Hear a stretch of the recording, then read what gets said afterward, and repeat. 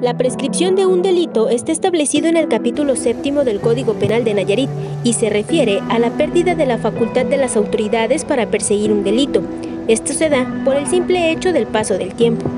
De forma general podemos decir que los delitos que se siguen por querella, o sea que requieren de una denuncia de la víctima, prescriben en un año,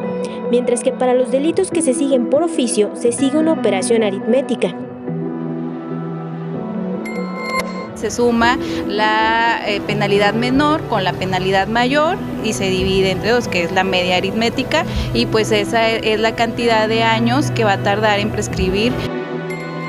Sin embargo, la abogada precisó que también se deben de tomar en cuenta diversos factores como las agravantes de un delito para establecer la prescripción. Por ejemplo, para un caso de feminicidio, el periodo de prescripción es de 50 años, pero al considerar hechos como si el delito fue cometido por un familiar, si hubo abuso sexual, si la víctima se dejó en un lugar público, el periodo de prescripción pudiera aumentar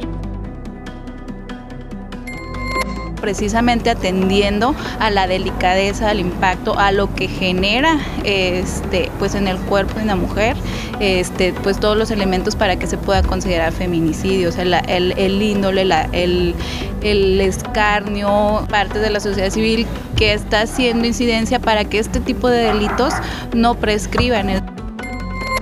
Dada la creciente incidencia de mujeres que denuncian abusos, acoso, abandono de familiares, violencia familiar cometidos hace 10 o 15 años, las abogadas invitan a las mujeres a denunciar o acercarse cuando se den a conocer casos en contra de sus agresores, pues sus testimonios pueden ayudar a robustecer el caso y comprobar que hay un patrón de conducta delictiva ocurriendo hace años